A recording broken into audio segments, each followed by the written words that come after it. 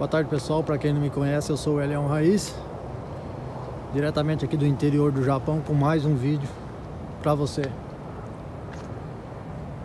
Agora são 4h50 da tarde, já está escurecendo.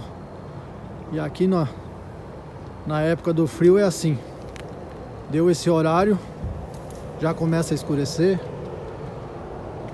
E fica frio, eu tô tremendo aqui de frio eu não consigo acostumar com o frio daqui do Japão. Já tenho mais de 16 anos de Japão e eu não consigo acostumar com o frio daqui.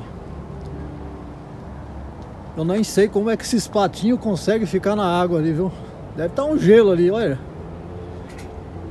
E eles conseguem ficar na água ali, ó, nadando ali na água. Olha, pessoal, olha, para você ver. O frio daqui é é bem forte.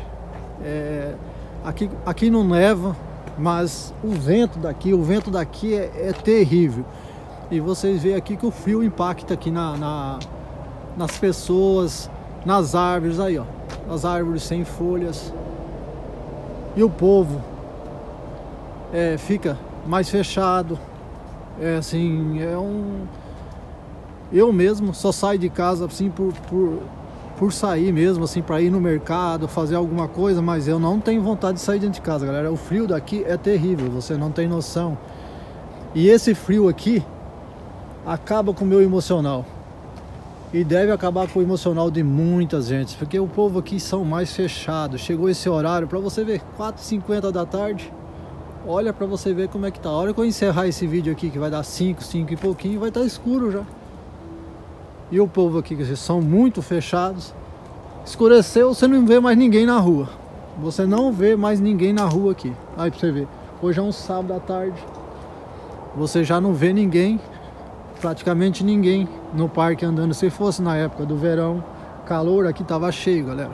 Sinceramente, eu não consigo me acostumar com o frio. E eu fico aborrecido. Meu emocional fica para baixo. Eu não, às vezes não tenho vontade de sair de casa pelo, devido ao frio. É o frio, você não tem noção. Você, você aqui hoje não está ventando, mas o dia que está ventando, você, olha, vou te falar, parece que o, o, o vento corta você, atravessa você de um lado para o outro. É muito, muito difícil aguentar o frio aqui. A vantagem é que aqui não neva, não neva, mas o vento é muito forte, é muito gelado, muito frio. A pessoa que já tem assim, né, depressão, por exemplo, nessa época acaba ficando mais triste, mais fechado, afeta mais o seu emocional. O seu emocional fica lá embaixo, porque é, a pessoa não tem vontade de sair de casa. Se já está depressivo, não dá para sair. E mesmo que você não tenha depressão, que você não tenha é, sintomas nenhum de depressão, mas acaba afetando a pessoa, o frio daqui. Acaba afetando porque é, eu tiro por mim, porque no frio eu não tenho vontade de sair de casa, eu não tenho vontade de fazer as coisas. Por quê? O frio é, é um frio exagerado aqui, é um frio que. que... Eu tô aqui agora, ó, tô com a minha mão congelando. Tô congelando a minha mão, eu tô com frio. E ainda não chegou ainda o inverno rigoroso. O, o, não chegou assim o, a época mais frio, mas tá chegando lá. O ano passado, por exemplo, é, caiu um pouquinho de neve no dia de Natal. Tava um vento muito forte, um vento forte demais, umas nuvens cinza escura e nevou um pouquinho aqui na região. Aqui é raro nevar, mas neva assim. O que mata aqui é o vento. Quando tá nevando, quando tá nevando em si, o... não é muito frio. Parece que não é tão frio, mas quando para de nevar e vem aquele vento, o vento corta e é muito frio mesmo. Acabou de tocar o, o sinal das 5 da tarde aqui, já está escuro. Nos próximos dias aí esse horário vai estar tá muito mais escuro. No verão tem sol até 7 e meia, 8 horas da noite. E aqui sempre é cheio de gente andando com cachorro, é, criança brincando. E isso deixa o povo feliz. Os, as pessoas mais idosas ficam mais felizes. Por quê? Eles também brincam, eles também vêm passear com seus netos. A gente que levanta cedo para ir trabalhar, eu saio de casa cedo para trabalhar, Tá escuro ainda. Não, não vejo luz de manhã, né? Chega 5 horas da tarde, 4 e meia, 5 horas da tarde, já tá escuro.